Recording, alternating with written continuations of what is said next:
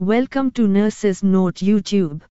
Today topic is thrombolytic management for MI. Subscribe our channel. The criteria for the administration of thrombolytic therapy are as follows. 1. History compatible with MI. 2. Onset of symptoms within the last 12 hours.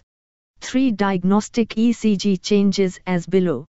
ST elevation of at least 2 mm in two adjacent precordial leads, V2 V6.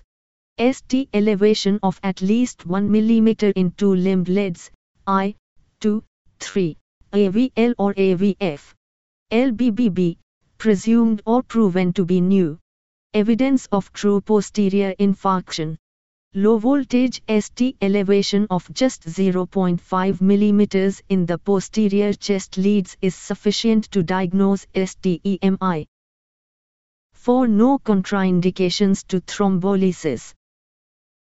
Thrombolytic regimens for STEMI. Tenecteplase single IV bolus given over 10 seconds plus heparin for 24-48 hours. Weight adjusted 500 to 600 milligrams per kilogram. 30 milligrams if weight less than 60 kilograms. 35 milligrams if weight 60 kilograms to less than 70 kilograms. 40 milligrams if weight 70 kilograms to less than 80 kilograms. 45 milligrams if weight 80 kilograms to less than 90 kilograms. 50 mg if weight more than 90 kilograms. Alteplase. IV bolus followed by infusion to maximum dose of 100 mg over 90 minute plus heparin for 24 to 48 hours. If not using a special programmable syringe driver, draw up 50 mg of alteplase into each of two 50 ml syringes. Give an IV 15 mg bolus from the first syringe. Infuse 50 mg, the entire contents of the second syringe, over 30 minutes, using an infusion pump. Infuse the remainder of the first syringe, 35 mg, over the next 60 min. For patients less than 65 kg give a 15 mg 4 bolus, then 0.75 mg per kilogram over 30 minute and then 0.5 mg per kilogram over 60 minute. Reteplase. Double IV bolus of 10 unit plus 10 unit given 30 minute apart plus heparin for 24 to 48 hours.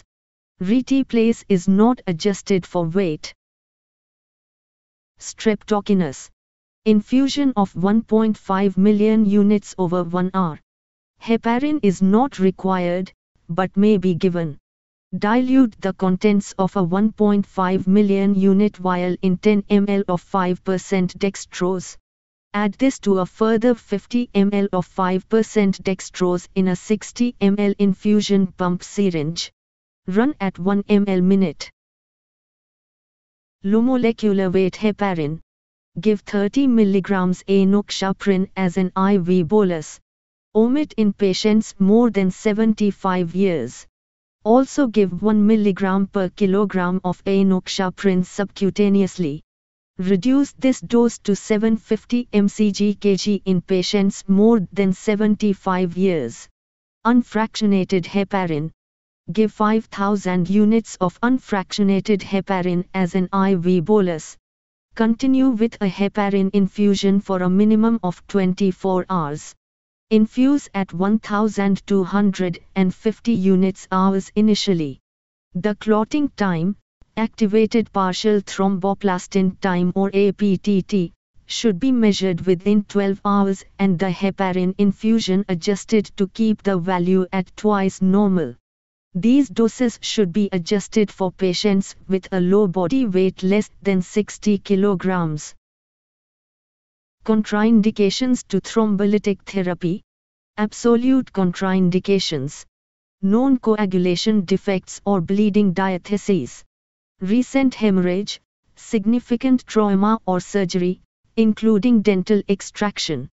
hemorrhagic stroke or stroke of unknown causation at any time, ischemic stroke in last 6 months, history of central nervous system, CNS, damage, aneurysm or neoplasm, intracranial surgery or significant head injury within last 3 weeks, severe uncontrolled hypertension, acute pericarditis or bacterial endocarditis, active pulmonary disease with cavitation, aortic dissection, active peptic ulceration, gastrointestinal bleeding within last 4 weeks, acute pancreatitis, severe liver disease, esophageal varices, visceral neoplasm with increased risk of bleeding, heavy vaginal bleeding, coma, previous allergic reaction to drug, streptococcus.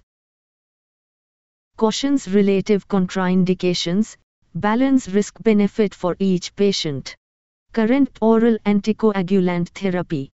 Recent non-compressible arterial or central venous puncture sites. Traumatic resuscitation. TIA in last 6 months.